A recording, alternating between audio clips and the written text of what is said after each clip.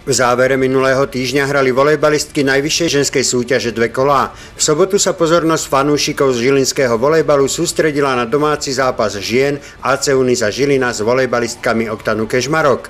Jednalo sa o zápas predposledného s posledným, v ktorom mali Žilinčanky potvrdiť zlepšenú formu zo zápasu v Nitre, kde vyhrali s Centrom olympijskej prípravy 3-1. Družstvo Kežmarku priviedla na palubovku bývalá kapitánka žilinských volejbalistiek a v súčasnosti kapitánka Kežmarku Tatiana Diana Dragašeková. Bol to jej volejbalový návrat po 5 rokoch. Šli sme v prvom rade potrápiť tú Žilinu a chceli sme aj nejaké tie bodíky získať, čo sa nám bohužiaľ nepodarilo, lebo sme podľa mňa začali hrať až v takom treťom sete.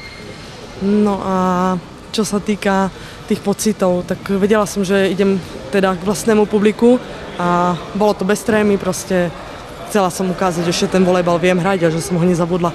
Volejbalistky Žiliny si vynikajúco rozbehli tento zápas a v prvom sete jednoznačne prevýšili svoje súperky vo všetkých herných činnostiach. V druhom sete však dostali hneď na začiatku studenú sprchu v podobe súperových úvodných 7 bodov na 0-7. Našťastie sa im podarilo tento náskok zlikvidovať a v závere získali aj tento set. Naopak záver nevyšiel domácim v treťom dejstve. Poučili sa však a hneď v úvode posledného setu si vypracovali 5-bodový náskok, ktorý už dokonca udržali a pripísali si tak na svoje konto veľmi dôležité body. Dneska sme odohrali veľmi ťažký zápas, čo sa týka psychiky, pretože sme obidva družstva teda vedeli, že hrajú o 6 bodov.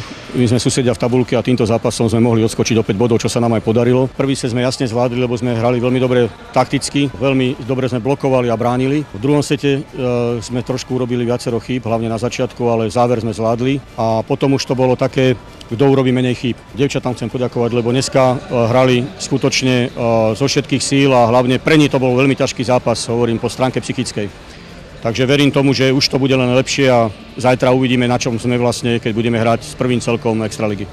AC Uniza Žilina, MŠK Oktán Kežmarok 3-1 po setoch 25-13, 25-23, 23-25 a 25-22. Nebol som spokojný, ale oboj strane to bol e, z obidvoch strán e, veľmi nervózny zápas e, s množstvom chýb na jednej na druhej strane a vyhralo družstvo, ktoré urobilo menej chýb.